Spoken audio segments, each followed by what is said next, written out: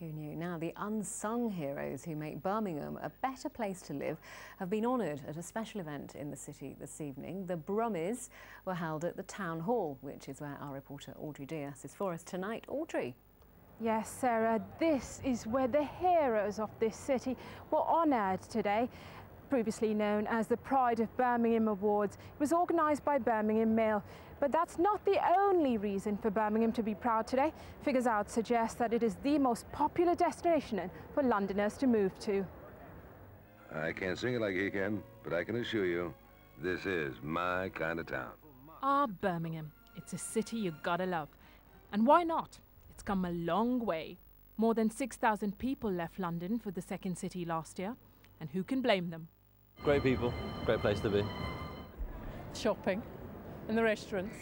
Uh, very busy, as you can see, and um, excellent. It's beautiful here. There's so many people around. They're so friendly.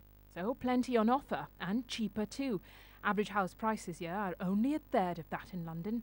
For ex-Londoner Vicky Gould, it's one of the best cities I've ever lived in, and I'm proud to call it my home.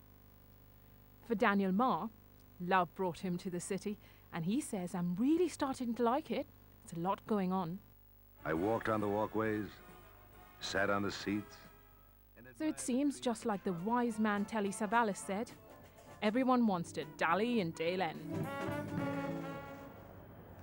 So what really makes a city is its people, like 11-year-old Lennon Fitzsimmons, who won the Child of Courage Award. He won it for saving his friend James from a speeding car. It's the ordinary people doing extraordinary things, and that is what makes the spirit of this city.